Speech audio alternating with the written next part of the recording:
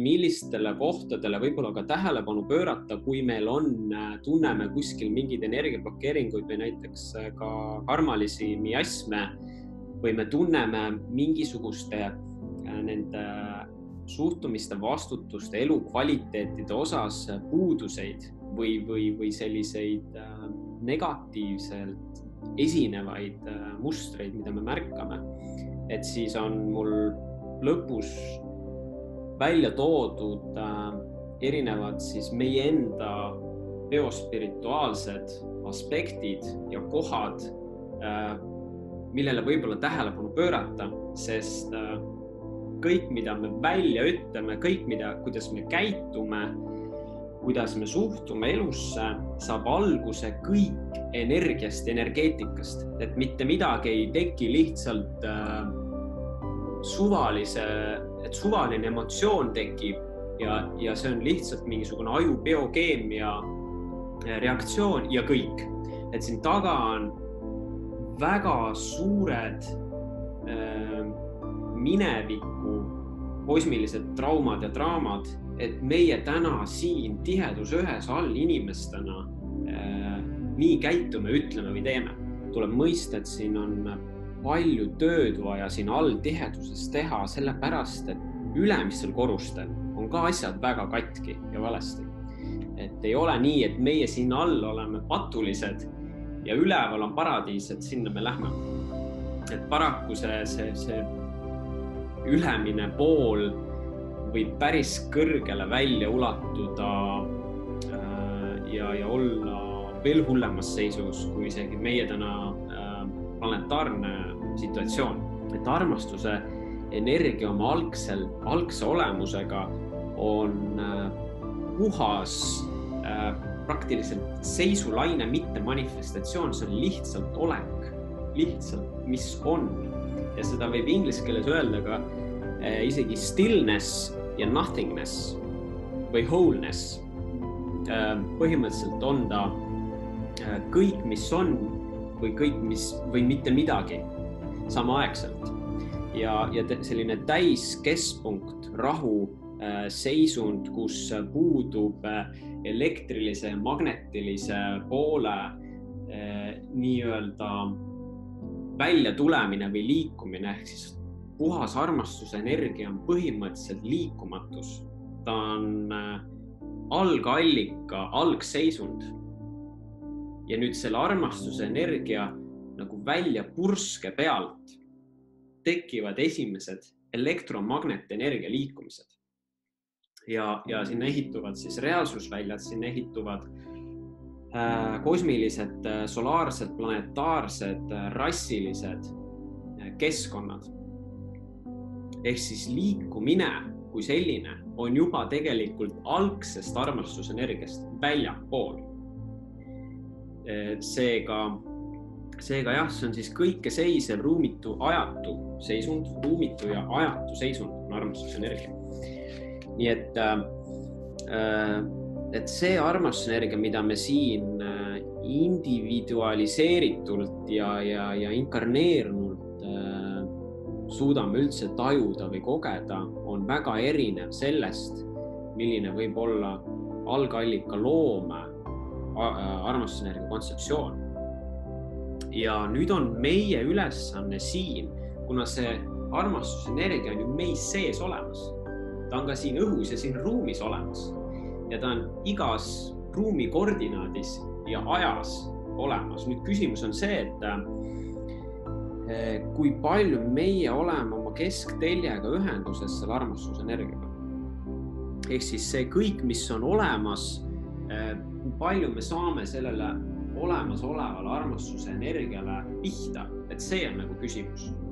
Äh, meil ei ole vaja seda kuskilt tõmmata ja meil ei ole vaja ka armastusenergiat kuhugi saata, vaid see on niikuinii igal pool äh, võrdväärselt ühepalju olemas, sest see lihtsalt on, see täidab kõike. ehk siis seda ei ole rohkem kuskil elektrilises aspektis ja seda ei ole rohkem kuskil magnetilises aspektis ja tegelikult seda ei ole rohkem ega vähem ka äh, anorgaanilistes reaalsustes ja maailmades. et ka põrgus on armastuse energia algosakesed, Jumala algallika algosakesed sees. nüüd äh, armastuse energiale tekib taha tohutult palju äh, varjendeid, variatsioone. Sinna tekib. Taha selliseid tundeid, et mis siis, kui ma ei mäleta, mis asi on. Armastusenergia. mul läheb meelest ära, ma või ma ei tea selle olemasolu, ma ei teadvusta. kuid mitte teadvustamine ja mitte teadmine ja mitte uskumine ei, ei tähenda seda, et seda ei ole olemas, et see on ikka olemas, kuid see armastusenergia loomise energia annab võimaluse kogeda loodul ehk siis kellelgi indiviidil seda tunnet, et mis siis, kui seda ei ole olemas või mis siis, kui me seda ei tea. ja eks see ole selle algallika üks äh, selliseid kõrgemaid projekte ja sissekirjutisi, et seda üldse kunagi kogeda ja noh, täna me siin isegi sellel planeedil, sellel ajastul näeme ümberringi väga palju kehastunud äh, inimesi, kes ei ole enam selles ühenduses ja on selle jõu ja väe ära andnud nooruslik elusära peab meil kestma kuni surmani välja, kuni siit lahkumiseni välja. ei ole vahet, kas sa oled seitsmeaastane, seitsmeteistaastane või seitsmekümneaastane. ilma elusärata elamine on mandumine ja mandumine on piin. Ja, ja piin on äh,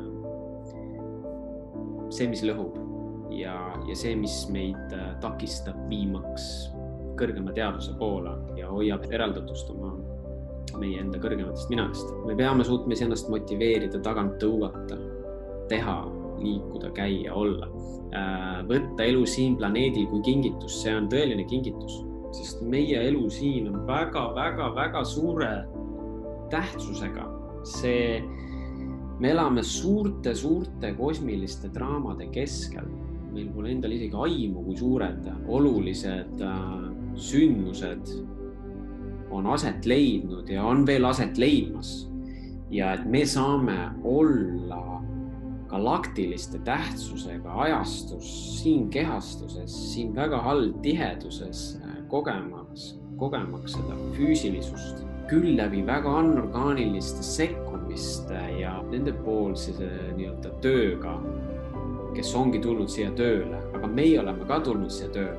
Energeetiliselt on äh, noh, nüüd on ta pärast kahte tuhande kahteteist lõppu väga palju äh, ka muutunud, aga enne seda ja noh, ka praegu ikkagi massiliselt veel endiselt on inimkonnal, enamustel inimestel, nad elavad nii, see on äh, sinu esikülg, sinu nägu on siin, eks ole, ja kõik keha. praegu elatakse nii, et äh, vaadatakse mitte näoga tulevikku, vaid vaadatakse näoga minevikku ja liigutakse selge ees tulevikku. et see on see, mida enamus inimesed praegu energeetiliselt teevad ja mida see loob, on see, et kuna siin on ka kunstlikud ajaliinid, mida need inimesed kogu aeg tõlgivad ja näevad. Noh, need on nende meeltekontrolli programmidega seotud, eh, siis äh, mineviku stsenaariumid luuakse enda tulevikku nii, et see inimene ise ei tea, et ta loob sellisena oma tulevikku. ja see on päris sihuke kaval ja karm trikk, mida on tehtud. ja nüüd meie ülesanne on ennast keerata sada kaheksakümmend kraadi. nii, et su, et sa vaatad tulevikku, sest siiamaani me oleme kümneid tuhandeid aastaid inimkonnana elanud tulevikku nii, et me vaatame minevikku ja loome mineviku stsenaariumid uuesti tulevikku.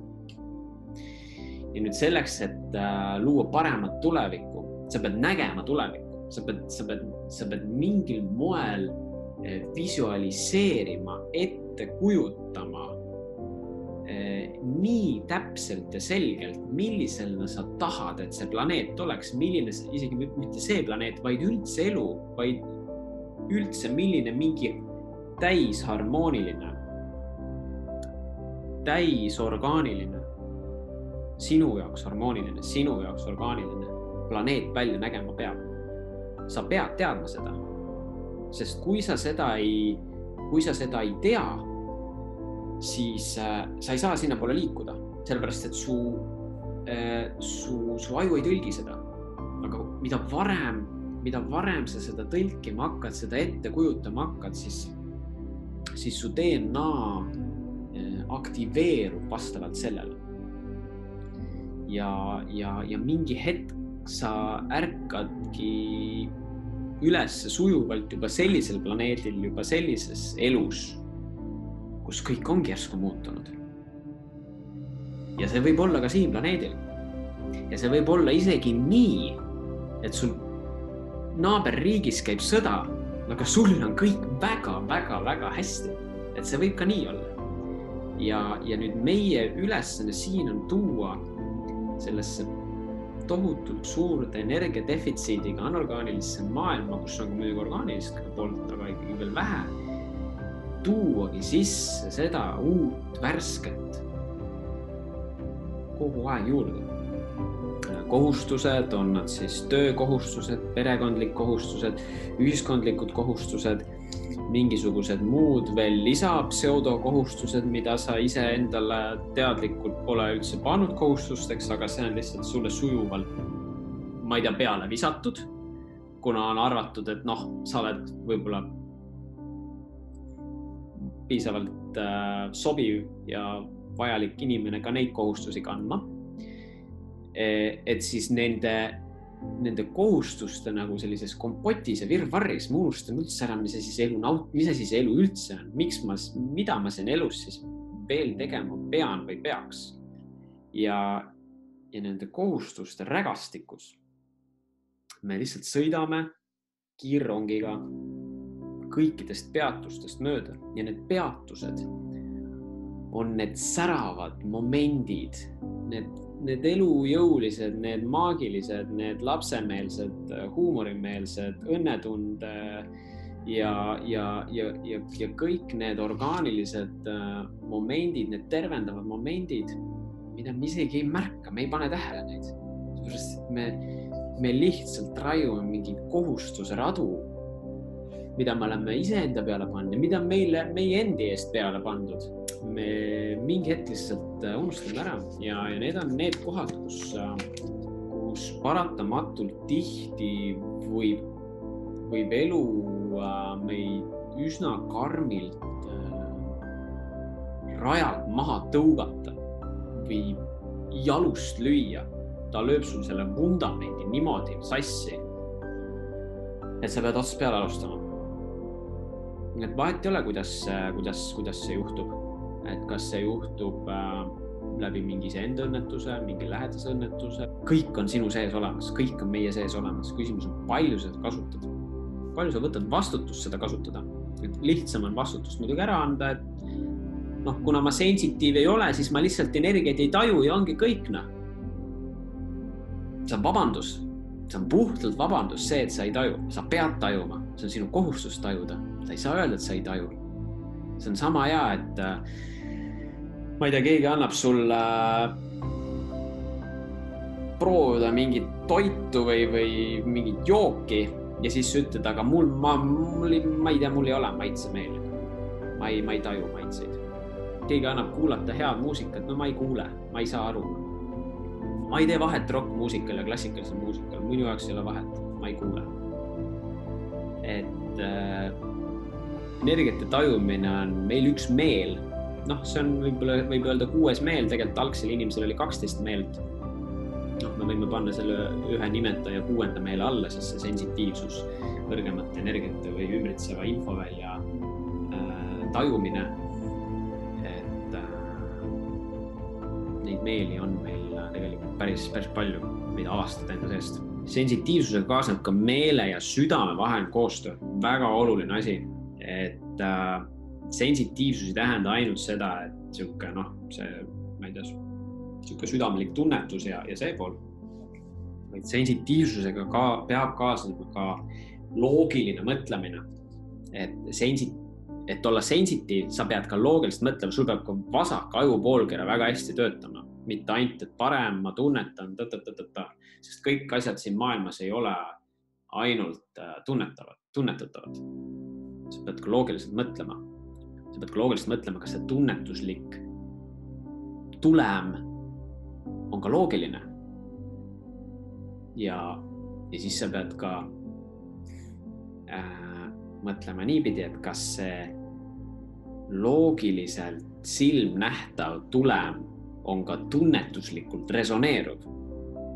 ehk siis see on nagu kahepoolne kompimine. ehk siis see meel ja süda kogu aeg selles balansis teevad koostööd, okei okay?, kõik juhtub sinu jaoks, mitte sinuga. et, et keegi kuskil kuri jumal või kõrgem mina või mis iganes ei, ei pea vajalikuks sind milleski karistada, et äh, kõik, mis juhtub, on mingi signaal, märguanne, mingi sõnum, mingi uus ülesanne kuskil. ja see on kasvuplatvorm, see on kõik eluline kasvuplatvorm. et sind tõsta, tõsta, tõsta, tõsta, tõsta ja tahes-tahtmata, et tõusta äh, peab ka kuskil, kuskil, kuskil languse läbi tegema, kui keegi midagi ütleb või teeb, me reageerime. nii, me reageerisime ära, see on instinkt või noh, see on nagu sisse kirjutatud mingisugune asi ja nüüd on see koht, kas me märkame või ei märka, kui me kohe ei märka, noh, kasvõi see murd, ütleme mõne sekundi jooksul me peame märkama, kui me siis ei märka ja nüüd läheb aega mõnikümmend sekundit või mõni minut või mida kauem mida kauem see läheb, seda vähem me seda teadvustame ja keegi kuskil kõrvalt ütleb meile. kuule, et sa käitusid nii või reageerisid nii või sa tegid nii. Siis me tõenäoliselt ei tunnista või ei teadvusta. nii, aga kui me selle reag-, kui me selle, kui see reaktsioon toimub ja me kohe märkame ja tunnistame, et ma tegin seda, vot siis see on äh, tervenemise koht meil on aeg, on ju see tohutu väärtus siin, mida me selle aja jooksul kõik teeme, mida me siia kogema oleme tulnud ja mitte ainult kogema, vaid kindlalt tööd tegema ja, ja mida me. Ja vaba aeg ja vabadus. Ja vabadus teha, mida me, mida me tahame ja soovime. noh, päris vabad me siin planeedil olla ei saa, et see oleks väär öelda, et, et mina, Andero Vebre, täna siin olen vaba hing ja teen, mis tahan, noh, ei kaugeltki mitte, et noh, sellest sõna vabadusest tegelikult mm, noh, me saame ikkagi inimestena väga erinevalt aru, et noh, minu jaoks vabadus, see siin planeedil ikkagi on ikkagi natuke kaugevõitu päris vabadusest. kui sa oled juba oma peas mõelnud midagi anda, siis see peab olema sada protsenti seest lõpuni andmisest antud, sest kui sinna taha tekib kasvõi õhkõrn tagasisaamise soov. et noh, ma ju ikkagi andsin, okei okay,, no ma ei, küll ei küsi tagasi, aga no ma ikkagi andsin ja no nagu ma nagu ikkagi tegelikult tahaks tagasi saada ikkagi selles mõttes midagigi. et, et kuna ma ikkagi ju sulle andsin, et kui sinna taha tekib see tunne või mõte, eh, siis ta ei ole lõpuni elektriline, siis ta on ikkagi sellise magnetilise alatooni ja kui ta on magnetilise alatooniga, siis elektromagnetne energia tasakaalustas ära selle ja sa ei saagi midagi. sest sa oma mõttega lõid sinna taha juba magnetilise ära. kui sul mingil asjal on hind, siis sa oled konkreetne, ütled oma hinna ja see, kes selle ostab, see selle ostab. Aga kui sa teed asja tasuta, aga loodad ikkagi saada, et noh, võiks ikkagi anda, siis see ei ole andmine et see ei ole ei hinna panemine ja see ei ole ka tasuta andmine, see on mingi vahepealne ja see ei toimi, see ei tööta. et kui su sõber päriselt tahab sulle anda midagi äh, andmise rõõmuks, siis ta ka teeb seda, aga kui tal on mingi äh, asja suhtes oma hind, siis sinu asi ei ole talle minna ütlema, et kuule, kas ma sõbra hinnaga saan. kui tema teeb sulle sõbra hinnaga, siis tema, noh, siis tema peab olema see pool, kes sulle seda pakub, mitte et sina ei lähe talt küsima, et kuule, kas ma sõbra hinnaga saan. et see ei ole noh, nagu selline orgaaniline tegevus või mõtlemine niipidi väga-väga raske kvaliteet, keeruline kvaliteet, olla täisvalitsev. et äh, märksõna ainult sina omad võimu ärritada iseennast. Äh, oma reaktsioonide, emotsioonide, käitumiste eest täieliku vastutuse võtmine. mitte kellelgi ega millelgi pole võimu sind ärritada, vaid juhul, kui sa ise annad selle võimu käest. et jah, kõik see, mis meil siin ikkagi toimub nendes mõtetes, et kuna me energeetiliselt ja juba Merkaba väljade põhiselt oleme me ikkagi äh, veel ülemagnetiseeritud, siis äh,, siis jah, tahes-tahtmata need äh, mõtted on meil nii, nagu nad on ja vahest ongi hea küsida, et kelle mõtteid sa mõtled. kui me tunneme elus, et meile ollakse võlgu, vahet ei ole siis, mis, mis moel võlgu äh,, siis tegelikult äh, oleme me ise võlgu iseendale kõrgema jumaliku mõistmise ja tunnustamise sellest, kuidas algallika loom üldse töötab. me oleme iseendale võlgu. et äh, kui keegi on päriselt sulle raha võlgu ja ta sulle ära ei maksa. ja nüüd sina tunned, et sulle ollakse võlgu. Sorry, sa oled iseendale võlgu, et äh, see on tema probleem, et ta tagasi ei maksa. see ei ole sinu probleem äh, sinu probleem on see, et see on õppetund sulle Äh, millist inimest võib usaldada, millist inimest ei või usaldada.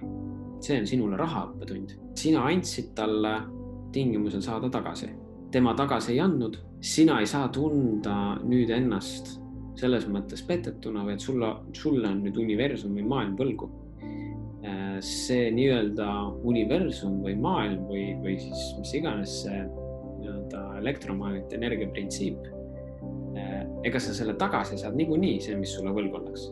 aga sa, sa võid saada selle hoopis teisel näol ja teisest kohast, nii et sa seda aru ei saagi. ja sa saad selle umbes kolme, kahe-kolmekordse võimendusega tagasi. aga see, kui sa hakkad talt seda tagasi nõudma, teades juba sisimas, et see on läinud rong, on täiesti mõttetu tegevus. Äh, jällegi, äh, see võib olla meie nagu egomeelele see käib, see mõistmine käib meie egomeelele nagu pihta, sest egomeel tahaks noh, kohe onju. Universumi seisukohalt ei ole keegi sulle midagi võlgu. Ja teiselt kohalt siin on veel kõrgem mõistmine saab tulla, et kui sa annad kellelegi rahalist laenu ja see inimene noh, laseb sind selles mõttes nagu üle ja ei maksa tagasi, siis see võis olla juba kompensatsioon, kus sa ise olid võlgu mingisuguse muu ajendi näol universumile nii-öelda ja nüüd kompenseeriti see ära. sa olid juba võlgu, sa andsid laenu ära ja tasakaal on tehtud juba, aga sa ei teadvusta seda täna ja nüüd sa käid ja ringi ja, ja halad ja ohid, et oi, sulle ei makstud ära ja, ja nüüd on sulle võlgu ja nüüd on sul see jama ja nüüd on sul mis iganes sinna siis kõik see kogu see ohvri ja tagakiusaja mängu mängimise lõppstsenaarium on, onju. aga võib-olla ta ei pidanudki sulle tagasi maksma, aga see on kõrgem mõistmine juba. me peame olema kannatlikud elus absoluutselt, see on kõrgem kvaliteet. kõigil on oma aeg. tunnustada jumalikku õiget ajastut, laskmata oma egomeelel peale suruda enda kiirustatud vajadusi. kui aeg ei tee sinu ootustega koostööd, siis see on oma väga kindel põhjus. et mis ma oskan öelda, ilusat õhtu jätku teile kõigile püüdke, proovige elada ikka oma kõrgemate suhtumiste ja vastutustega. kiirgage ja, ja jagage seda endast igale poole välja ja, ja ma arvan, see on üks vahendeid ja lahendusi, kuidas, kuidas ka seda maailma äh, muuta paremaks äh, läbi iseenda. nii et äh, sellised mõtted minu poolt järgmiste kuulamisteni, nägemisteni. olge tublid. tšau